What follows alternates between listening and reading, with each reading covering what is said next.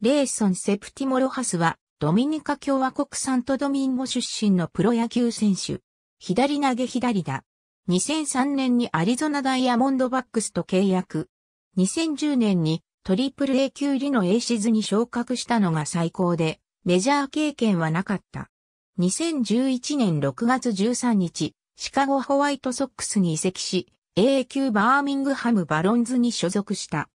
2012年7月28日、メジャーに初昇格し、翌29日には、ニューヨークヤンキース戦の9回に登板すると、アレックス・ロドリゲスとロビンソン・カノから三振を奪った。この年はメジャーで21試合に登板した。2013年はメジャーに昇格することができず、10月1日に FA となった。2014年は独立リーグアトランティックリーグのサザンメリーランドブルークラブスでプレーした。2015年1月7日にアトランタブレーブスとマイナー契約を結んだが、3月30日にリリースされた。その後は独立リーグアトランティックリーグのヨークレボリューション、アメリカンアソシエーションのアマリロサンダーヘッズ、ジョプリンブラスターズに所属した。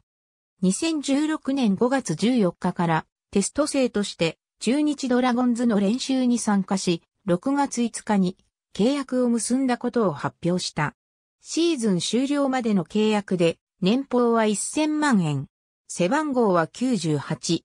中日では3試合登板、0勝1敗、防御率4.26に終わり、12月2日に自由、契約公示された。